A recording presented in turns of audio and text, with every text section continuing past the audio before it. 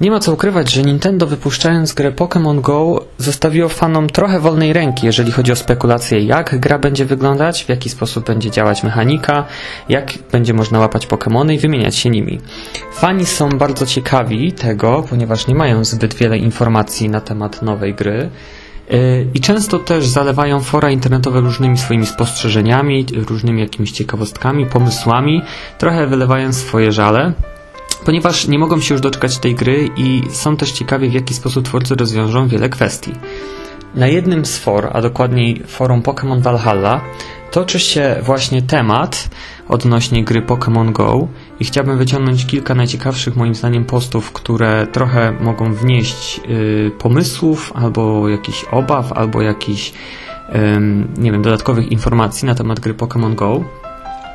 I na przykład y, w temacie y, użytkownik Migotix y, pisze o tym, że z jednej strony jest to bardzo dobry ruch, jak za czasów Pokémon, każdy miał dostęp do Pokémonu w jakimś stopniu, czy to anime, czy na Polsacie, czy Tazosy.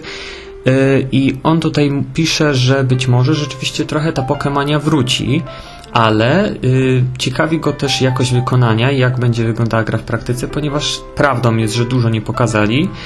Ale prawdą jest też, że on tak samo jak wszyscy inni fani są oczarowani tym pomysłem i naprawdę, żeby nie było tego wielkiego rozczarowania w momencie premiery albo w momencie ewentualnego wypuszczenia y, jakichś dodatkowych informacji, być może jakiegoś gameplayu, y, rzeczywiście y, są to takie y, są to takie trochę może życzenia y, odnośnie tego, jak y, gra powinna wyglądać, żeby nie zawiodła fanów. Yy, na przykład Jay albo Zay, mm, w zależności od tego jak czytamy, pisze również, że yy, on myśli, że mapy mogą być generowane na podstawie lokalizacji. Przy pierwszym uruchomieniu gra zbada mapę okolicy, rozmieści na niej w, yy, w różnym tam sposób Pokémony. Jeżeli ktoś będzie przemieszczał się dalej, to gra ponownie rozłoży stworki na nowej części mapy. Ja osobiście uważam, że też wątpię, żeby globalnie rozłożyli Pokémony na każdym tak zwanym zadupiu cywilizowanego świata, chociaż zastanawiam się, czy na pewno nie będą jakieś miejsca, w których będą rzeczywiście określone Pokémony, w stylu jakieś na przykład najważniejsze miejsca w stolicach różnych krajów, gdzie tylko tam będzie można złapać jakiegoś danego Pokémona, a żeby każdy go mógł mieć, to będzie trzeba się rzeczywiście wymieniać z ludźmi i to dosyć porządnie. Tu trochę pomysł mi przypomina to, jak Viviliony w Pokémon XY oraz w Orasie mają swoje y, pokolorowane skrzydełka w zależności od regionu, w którym dany gracz gra. To jest, mi się wydaje, że coś mniej więcej y, w tym samym, w tym samym deseń. Turtwiczka y, pisze bardzo ciekawy post, który mi się spodobał. A teraz wyobraźcie sobie, że wy albo ktoś z waszej rodziny kończy akurat 10 lat, dostał od rodziców swoją pierwszą nowoczesną komórkę i wychodzi z nią, mówi: Mamo, wychodzę łapać dzikie Pokémony. Yy, to bardzo yy, jest duża aluzja do tego, co się dzieje w grach Pokémon oraz w anime. Turtwiczka pisze, że doczekaliśmy się czasu, gdy nasz sen z dzieciństwa staje się rzeczywistością. Szkoda tylko, że my wszyscy tutaj obecni na forum i, i również ja nie mamy już 10 lat, więc ten nasz sen z dzieciństwa nie może stać się rzeczywistością, ale nie ukrywam, że można ponownie poczuć się trochę jak dziesięciolatek, wychodząc rzeczywiście z domu i łapiąc te Pokémony, grając w Pokémon Go. E, Jay albo Jay znowu pisze, że odnośnie eventów dla gry Pokémon Go, że może być tak samo jak z eventami w Pokémon Shuffle, że podobno, że po prostu w danym tygodniu będzie szansa na pojawienie się przykład Mewtwo, E, I Jay również pisze, że nie sądzi, aby gra wymagała zbyt dużej mobilności, czyli przemieszczania się pomiędzy miastami, ponieważ zaważyłoby to bardzo na zainteresowaniu się grą, ponieważ mało kto miałby czas i rzeczywiście pieniądze jeździć po całym kraju, czy nawet nie ukrywam, że po jakimś całym województwie albo jakimś większym mieście, żeby łapać wszystkie Pokémony. E, Jay podjął tutaj bardzo ciekawą e, informację, o której tak naprawdę twórcy gry jeszcze nie mówią, czyli właśnie w jaki sposób będą te Pokémony rozmieszczone, czy rzeczywiście odległość pomiędzy danymi Pokémonami będzie bardzo duża, czy one y, na przykład na jednej ulicy będzie można zapłacić kilkadziesiąt, czy na przykład tylko jednego lub dwa. Y, do jakiego, że tak powiem, powiększenia mapy będzie można łapać te Pokémony, czyli czy na przykład w moim pokoju znajdą się dwie czy trzy sztuki, albo na przykład w mojej okolicy nie będzie ani jednego. Y, to jest bardzo ważna kwestia, ponieważ jeżeli za dużo będzie Pokémonów, to one będą znowuż z jednej strony może z, nie jest, że zbyt łatwe, ale zbyt nudne, ponieważ złapiemy szybko dużą ich ilość, a później y, tak naprawdę będzie problem z odsianiem y, tych niepotrzebnych Pokémonów, a wyciągnięciem tylko tych najważniejszych, które są tak naprawdę potrzebne danemu graczowi. E, z drugiej strony, jeżeli Pokémonów będzie za mało, to rzeczywiście na polskie realia gra nie będzie miała szans racji bytu ze względu na to, że za trudno będzie złapać różne Pokémony. E, promień y, około 15-20 km jest moim zdaniem bardzo duży, jeżeli chodzi o łapanie Pokémonów. Z drugiej strony, jeżeli patrząc na to, że niektórzy ludzie poruszają się dziennie 30-40 km w jedną czy w drugą stronę, może dla nich będzie to jakieś ułatwienie. Co nie zmienia faktu, że tak naprawdę nie wiemy jeszcze tego, jak to będzie rozwiązane. I tak jak widać na forach, yy, użytkownicy zastanawiają się nad tym, mają swoje propozycje, mają też swoje jakieś pomysły, ale mają też swoje obawy. Yy, D, czyli listwa inaczej, pisze, że yy, odnośnie yy, pobierania ciągłego i aktualizowania danych, tak jak ma to miejsce na przykład w Ingresie, na którym też bazuje Pokémon Go, że niekoniecznie y, trzeba by było co chwilę pobierać jakieś dane, wystarczyłoby, żeby tylko pobierał y, informacje o najbliższym regionie, a te niepotrzebne kasował, podobnie jak na przykład jest w Google Maps, gdzie pobiera się też zdjęcia satelitarne z tego kawałka, który się potrzebuje. I myśli, że zdecydowaną częścią procesu produkcyjnego jest właśnie określanie siedlisk. Nie będę zdziwiony, jeśli się okaże, że gra wyjdzie, ale będzie w nią można grać na przykład tylko w Japonii, a inne kraje pojawią się później.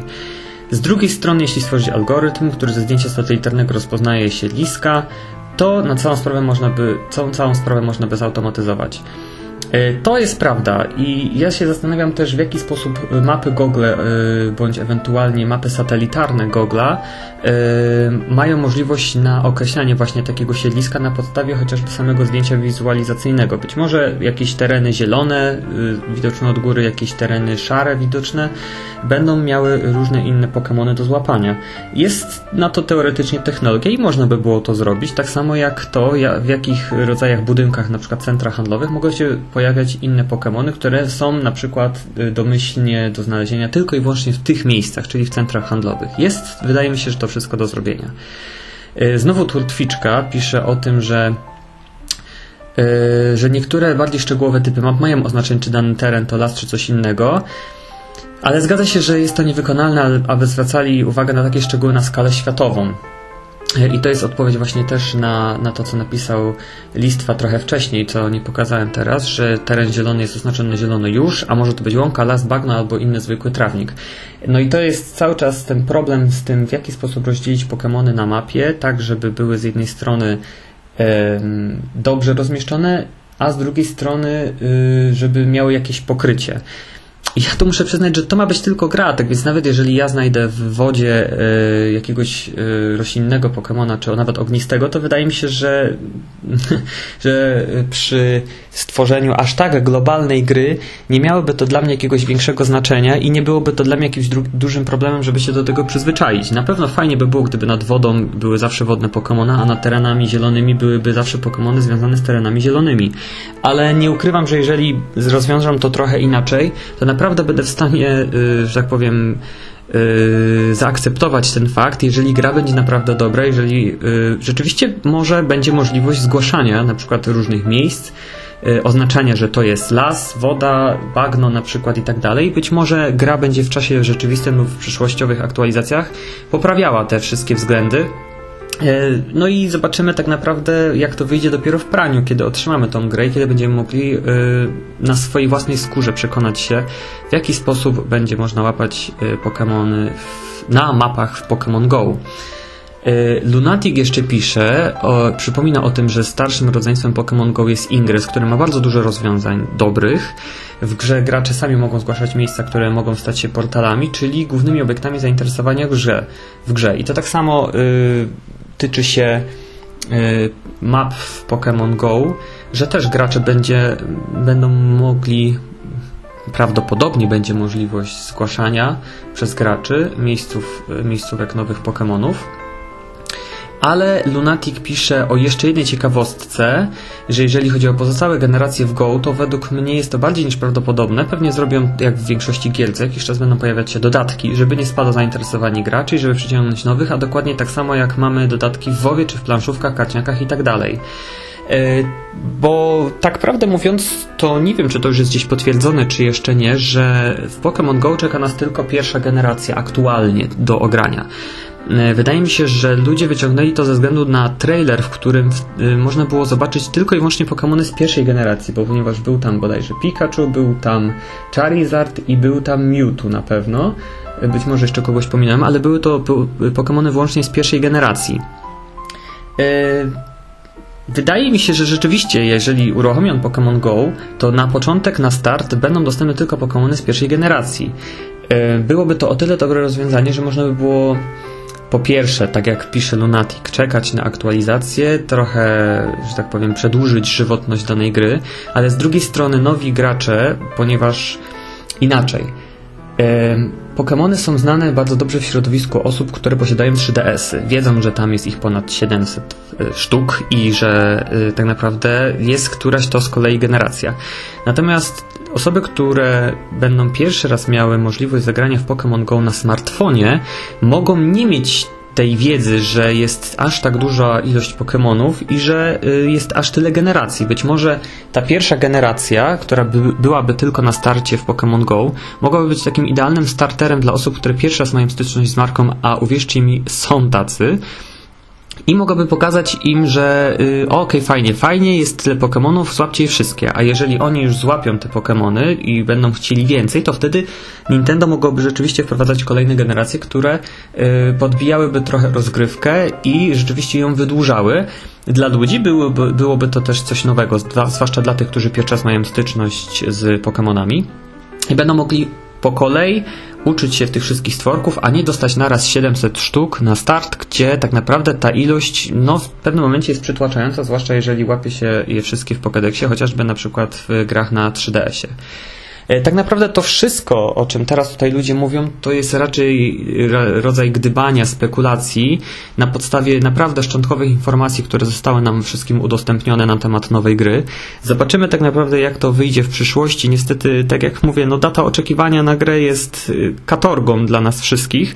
Mam nadzieję, że już niedługo zostaną nam udostępnione jakieś dodatkowe informacje, być może gameplay, chociażby kilka screenów byłoby super.